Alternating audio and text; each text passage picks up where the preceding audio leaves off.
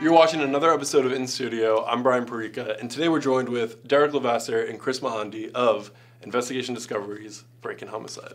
That was a mouthful, but Thanks Yeah, for thanks for coming in. You Thanks for coming it. in. How are you guys doing? it. Great, thanks for having us. Now, for those who haven't, I guess, watched the series yet, can you kind of talk us through it and, and kind of explain like what your backgrounds are that make you qualified to to open up these cases again and re-examine them? Sure. I'm a clinical police and forensic psychologist. I've been doing this kind of work for over 25 years, and I've interviewed hundreds of offenders who've killed a lot of people, and I've interviewed a lot of victims and looked at a lot of crime scenes, and I've testified in all kinds of murder cases and regularly consult to investigations throughout my career.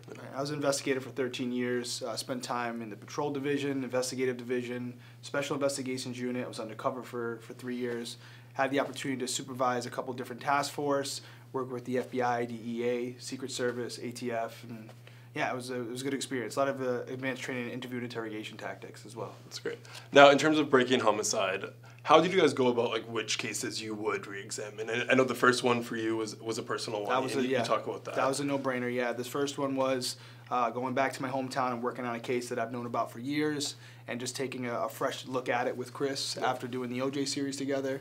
Um, I'll let you explain the other Yeah, ones. uh, yeah. What happened was we were in the car uh, on the OJ case, and Derrick said, "I got a case you absolutely have to see," and it was the Michelle Norris case. And so even before this show was even conceived, it was already on Derrick's mind, and both of us have a commitment to doing cases that speak to, you know, the average person's experience as opposed to something that's, you know, some super high profile, you know, celebrity type case, if you will. And what ended up happening as the OJ series rolled out was a number of people reached out to us, and that led us to start taking in cases uh-huh. that you know viewers were experiencing that they'd had unresolved, and that was how this series was born. Yeah, and as far as selecting, we wanted to go with cases that we felt there was some solvability there, something we could do with the advancement in technology and science that maybe had different from what was done when it was when it originally occurred.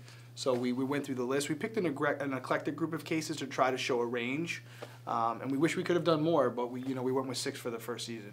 Now, in the Michelle Norris case, you talk about how Julie had her mother Julie had reached out to you about about kind of looking at this case again. Yeah. In terms of the other cases, though, what were the challenges of getting people to reopen these wounds, talk about these cases again, and, Well, the idea of and reopening be, being filmed? Yeah, the idea of reopening Yeah. wounds, these victims' families live with this every single day of their lives. This is not something that goes away. It may be on a back burner at a police department, not because they don't want to solve it, but because there's nothing new to help them solve it, and maybe they need a fresh perspective, maybe. But um, for the victims, um, for the families that are wondering what happened, they're living with it every day. And so um, they were very interested in getting some answers, and that's how it happened. You know, they, it was. Some people may not want to go on camera and talk about it, and that's understandable, and that's certainly respected. Um, but there's a lot of people that say, you know, we've tried other things. Let's see what happens. And you, and you will see with all the cases, as you saw, you're going to talk about Hawaii a little Yeah. bit, that uh, and, uh, for most of these cases, they wanted our help. So they, they we went there knowing that they, they this is something they wanted to happen. They wanted to bring a new level of exposure to their to their loved one's case. So it wasn't too hard to speak with them at all. No, and for, and for the most part. Were there any cases that you weren't able to kind of re-examine be- because people didn't want to be involved and be filmed, or No, I mean honestly, we wouldn't have taken a case on that didn't want our help. Okay. It wasn't something where we're like, hey, listen, we're just going to highlight this case and hope we can help without their permission. Either a friend or family member or community member reached out to us and said, listen, we really think there's something here. Will you help? And that's kind of what this is. Investigation Discovery has been receiving calls from their audiences and emails from their audiences for years saying, will you help us? We relate to your shows because we've had similar situations happen to us. Will you help? And we think Breaking Homicide is a start to answering those calls for help. now in terms of the Honolulu Strangler, what was it about that case that got you to want to re-examine Well, it's it? the first and I believe only serial homicide case in Hawaii. No. Um, there may have been another one, but this is kind of the first one. It was unsolved, and uh, it affected that community significantly, and it was never solved. Interestingly, it came up on the heels or the time period of the Green River killing case, which was in Seattle and the Pacific Northwest. But um, you know, paradise, a place that you're supposed to go to to feel safe, and here you have you know a number of people that have turned up dead, murdered, and it needed to be answered. I've done a lot of work in Hawaii throughout the years. I have family there, um, and I had friends that worked at the police department.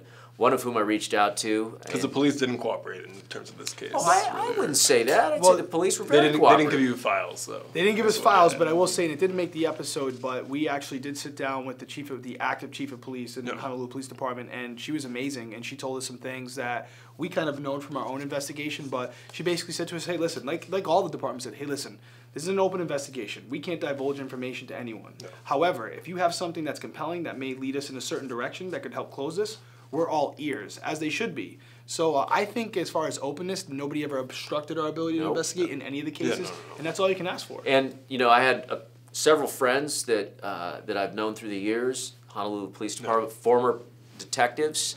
They were fantastic, and they opened up as much as they could. I felt like you know we got the aloha spirit as we were doing our investigation there. They wanted answers, and it's not just the families of the victims that suffer with this being unresolved and not having the questions answered, but it's as you'll see. The detectives themselves carry this burden Yeah. of wanting to be able to To- share this information. And you worked with Peter Carlisle. That's his name, correct? Yeah, Peter Carlisle. And you and him come up with a conclusion of who you believe to have done it, who is also passed away. Well, yeah, we, didn't- we didn't even come up to that conclusion collectively. We wanted the answers to certain hard questions, and, and I'll be honest, going into it, I had spoken to Kris off camera and said, This guy he was a politician. He was the mayor of Honolulu for a while. He's going to be polished. He's going to give us the politically correct answer. He's not going to say anything. And then we asked the, the big question Do you think this individual did it? And he looked us right in the face and said, Yes. And you could see the emotion and, and uh, he felt from that, knowing that he wasn't able to, to really put the nail in the coffin, so to speak, on this case. But I was so impressed with his candor and the, his willingness to go on camera and say what he did because I, I can tell you right now, a lot of the families involved with this, uh, you know, the victims' Yeah. families, I think they'll really respect that. I really, really do. He didn't pull any punches. He was direct. He didn't equivocate. It was, here's what I think, and it was very emotional. Our uh, primary homicide investigator who pursued this initially had the original task Yeah. force. Similarly, fantastic human being, but he had been carrying the weight of this for all these You see years. that, yeah. Yeah. Yeah. Um, in terms of re-examining these cases, how troubling is it to you that these cases are unsolved? And these cases back then they weren't, I guess, investigated the same way you guys are looking into it. For the Honolulu case, I think Derrick, you said, I don't think this case will ever be classified as cold, uh, closed. Solved. Well, well, the re- the reason I would say that is because in this situation, our, our primary person of interest is deceased. Yeah. So the bottom line is this: you can't consider a case closed because there's never going to be a conviction. But as far as it being solved with, with, with the conclusion of the show and the, the chance that we gave Detective Louis Souza to speak to one of the victim's brothers and actually tell him right out who did it, why he thought he did it, I could tell from the reaction. We wanted to give him that respect and let him do it because he'd been wanting Yeah. to do it for years. And you could tell by uh, Regina Sakamoto's brother's reaction that was what he's been waiting for For all this all time. years. So, and I said to him, hey, listen, this case may never be classified as closed, but in our opinion, it's solved. And we wanted him to have his, you know, his day and his opportunity to do that. This is a man that worked very hard, Louis Souza, Yeah. to get answers. Um, there's a misunderstanding sometimes that law enforcement isn't motivated to resolve these cases. and while in some cases that, that may be, I haven't seen it yet in any of ours. These these professionals want these cases solved, and sometimes there's an impasse because of technology. A lot of times it's because people aren't coming forward. Maybe at the time they didn't think their information was important, um, and you know going in and you know getting a fresh perspective, talking to people anew, re-examining crime scenes and data fresh, that ends up you know kind of uncovering things that need to be uncovered. Obviously, the Michelle Norris case was personal to you. It became personal for you. Right. How do you separate that? Well, when we say personal, when I say personal, Yeah. I mean that I'm allowing myself to feel and empathize with the experience, you know, of the losses that these people, Julie, Nate, Billy, the community have experienced. And I don't think that that should necessarily cloud your objectivity. In fact, it should enhance your objectivity because what you're doing is saying, I am now even more motivated apart from this being some anonymous case number in a file someplace. This is a human being um, who meant something to all these people who should not be forgotten, and we owe it to the community and especially to this family to get answers. So, to make it personal means I'm not going to distance myself from my responsibility to do the best job that I can, and I'm not interested in getting it wrong.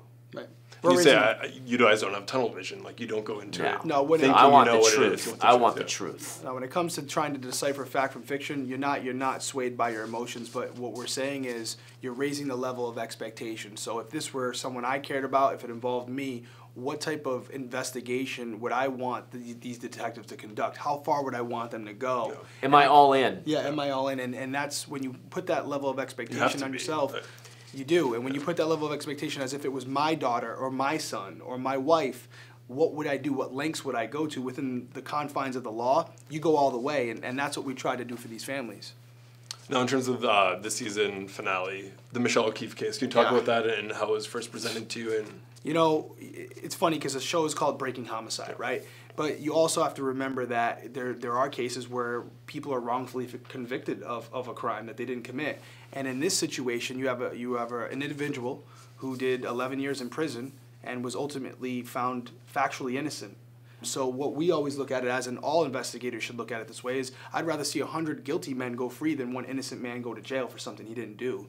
So there's two stories here. There's two real great stories about someone who there's, there's two victims here. You have an individual who did 11 years in prison for something he didn't do, and you have someone who is still walking the streets today who committed a heinous act.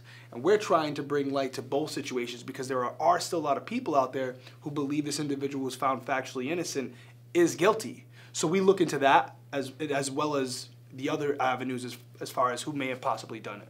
The Michelle O'Keefe story has so many important aspects to it, not the least of which is making sure you get it right Yeah. and that there's enough integrity within the system to admit when it's made a mistake. And now you have a problem of who did it. And that's what we investigate and delve into. what other cases out there would you want to re-examine? Something that you've Oh my gosh. come we- across over the years that you've we, said. We've had so many different cases that have been presented to us Okay. by um, individuals across our country. There are thousands of unsolved cases. And part of what we want to accomplish in this series, in our efforts, is to inspire those whose cases we may not take No. to not give up and to still have hope. I've got a couple in mind. There's one in Ohio that I'm very much uh, into, Yeah. as is Derrick. Can you talk about it? Um, Or- No, I don't want to. Yeah, because we want to solve it. We want to Yeah. solve it. And then there's one here in Los Angeles that I'm actually very interested in, in which a boy's body was found in a chimney many years ago um, after he'd been murdered. And I'm very interested in that case as well. Right. But like you said, he, he nailed it. You know, the, the, the main focus here is to know we're going to take the cases as far as we can. We also want you, the viewers, to know that society today allows for you to have a voice. And as far as we're going to take it, you can take it even further. You have a voice. If you see something, say something. And if you feel that there's an injustice here or someone may, you know, be looked should be looked into further, use that voice. There are movements happening every day for people that really stand behind certain causes let's get together and do that. Let's hold the judicial system accountable and also understand that if you have something that you've been personally affected by, no matter how many years has passed, there's always a chance that it could be solved. And people like us are out there. It's not just me and him. And, and you never know. We may be coming or calling you next. Now, are there any updates you can provide on, on some of these cases that you can share? So, so every case that we work, we can complete a letter. We turn it over to the police Yeah. department. In some cases, we show them the footage prior to it, and at that point, it goes from being our investigation to their investigation because it's a partnership, it's a collaboration, and we want to solve these cases. And those are the individuals who have the opportunity to do that. So we are not going to divulge what we know now for the integrity of the case. But if there's an update, if or when there's an arrest in any of these cases, we will 100% make sure that everyone knows uh, the status of that investigation. Breaking Homicide Final Theory on ID Go Yeah. um, is the place to get those kinds of updates. But I'll tell you this Okay. um, we've done a number of these interviews, and after one of the first interviews we did, Derrick gets a text from somebody watching that show that had additional information about our first case, and that has been turned over. So, what I'll tell you is while we take these investigations forward, that momentum has been propped up and accelerated by other people out there watching this that have actually done the right thing and called out. Before we go, is there anything you want to say? No, I just I, I hope people check out the show. And again, if you have something that could help the case go further, use your voice. Let's make it a movement. Let's get these cases solved for these individuals. That's what it's about. A lot of shows you watch out there, there's already an ending. You're just watching the show and there's a conclusion. That's not always going to be the case in this. It's up to you to get there, and we're going to help as much as we can. But let's give these families the justice they deserve. You are part of this, and it's partnerships that solve cases today. Thanks for watching. Thanks for watching. Thank you guys. Thank, Thank you. you.